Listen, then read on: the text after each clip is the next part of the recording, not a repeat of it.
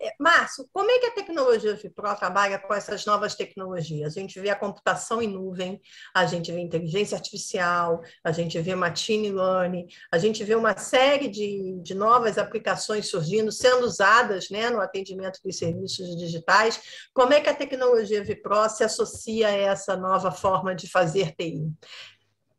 Boa pergunta. É, o Vipro, ele sim, eu sempre, eu costumo sempre falar para os clientes que ela é uma tecnologia que ela se molda à necessidade do cliente.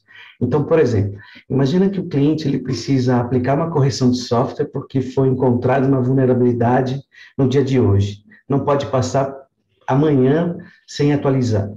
A gente pode via Vipro, né, a tecnologia Vipro permite que a gente acorde a máquina remotamente, mesmo se ela estiver na casa do usuário, de madrugada para fazer essa correção de software. Então, esse é um ponto. O segundo ponto é que a tecnologia Vipro, ela se moldou, por exemplo, você comentou de processos de machine learning, né? É, a tecnologia Vipro usa processos de machine learning para detectar, é, detectar ataques de ransomware no PC. Então, é a tecnologia Vipro se moldando aí a essa demanda né, do futuro para os serviços digitais.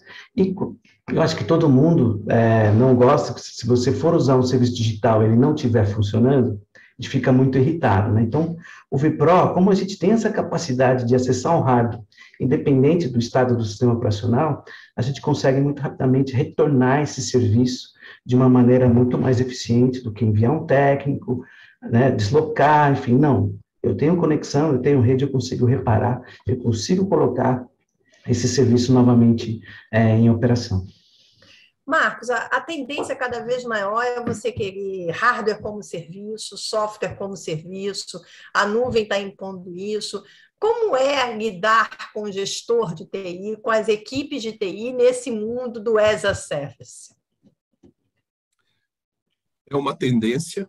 Né? É, os clientes eles têm procurado é, olhar essa possibilidade né, do, do, do é, a gente tem trabalhado algumas soluções é, em relação à entrega de, de, de, de algumas, de, algumas necessidades do cliente nesse formato.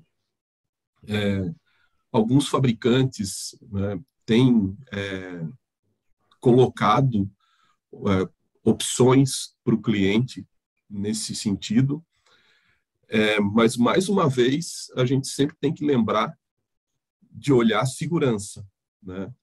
É, então, é, é, são, são, são percepções. Né?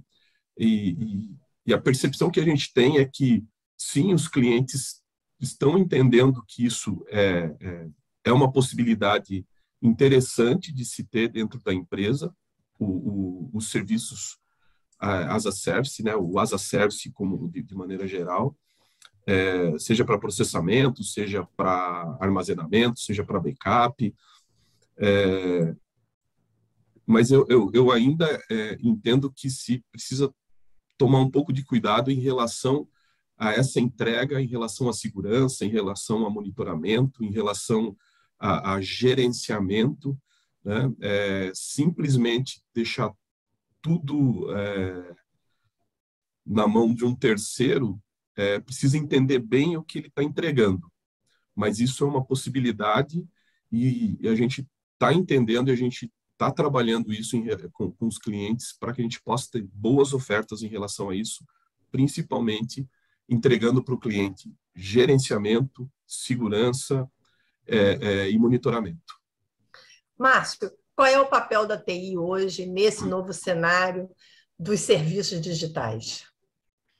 O papel da TI, acho que, primeiramente, é não ser aquele departamento que não dê agilidade às soluções de negócio que a empresa precisa implementar. Né? Então, eu vejo que nesse mundo de cloud computing, né, é, é, o que, que a cloud computing ela traz? Ela traz agilidade, né? ela traz essa esse time to market, né? Esse, essa velocidade de você conseguir aqueles recursos. E o que a gente vê é, é as empresas se moldando a isso, né? E a TI tem que é, vamos dizer, se reinventar, né? Olhando essa disponibilidade de serviços, seja off-prem, nuvem pública, ou seja, on-prem, né? Para ter, para conseguir fazer essas entregas que o mundo digital hoje, mais do que nunca, está pedindo. Marcos, como é que a LTA enxerga hoje essa demanda por novos serviços que a TI exige? E com, com, com vou repetir a pergunta que eu fiz ao Márcio um pouco atrás, para a gente encerrar, que é como é cloud computing, inteligência artificial, machine learning e muito mais do que está vindo aí pela frente? É, a, a LTA ela tem é, olhado para esse mercado já há algum tempo, né? É, vem colocando no portfólio dela soluções para poder atender essas necessidades que o mercado é, começou a, a, a, olhar de maneira mais efetiva, né? O cloud computing, a, o machine learning, deep learning, inteligência artificial, é, e tudo isso é, é, voltado principalmente agora nesse momento que a gente vive em tecnologia, muito à segurança, né? É, então a gente é, a gente sabe que, que, que as necessidades elas elas mudaram, né? É, hoje você ter um simples antivírus baseado em vacina não é mais suficiente, né? Então você precisa ter na, na, na, na gestão é, a inteligência artificial que vai te ajudar bastante a, em algumas tomadas de decisão. É, você ter ferramentas que analisem é, o comportamento da sua rede, que analisem o comportamento do seu backup, é, é, também baseadas em inteligência, inteligência artificial, machine learning.